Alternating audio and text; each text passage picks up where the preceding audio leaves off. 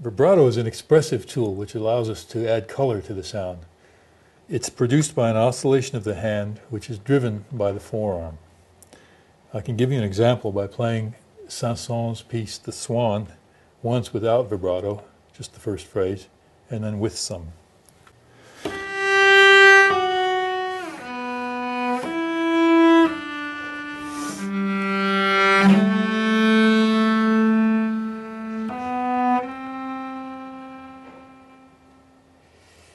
And then adding some vibrato for color.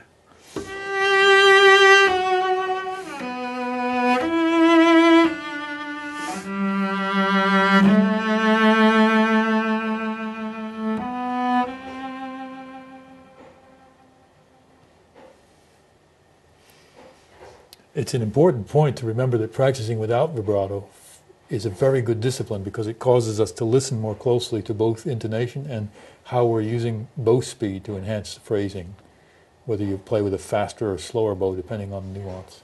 The action that drives the vibrato is the forearm motion, which goes up and down parallel to the fingerboard, sort of like shaking a bottle of pills. A first step in producing the vibrato is to move the finger up and down the string with very little thumb pressure, where you get a glissando, then gradually add a gentle pressure from the thumb to settle the finger into place.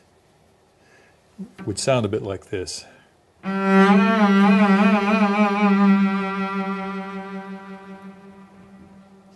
To transfer vibrato from finger to finger or note to note, it's important to remember that in starting the vibrato, going from a lower to a higher finger, it's a directional oscillation of the forearm and hand.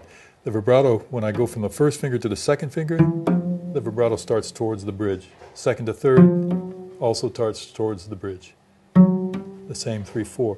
When I'm in descending order from higher to lower finger, the retraction of the finger triggers the vibrato to start towards the scroll on the next finger. So with the bow, it would be forward and backwards. And if you did that in a sequence of measured notes,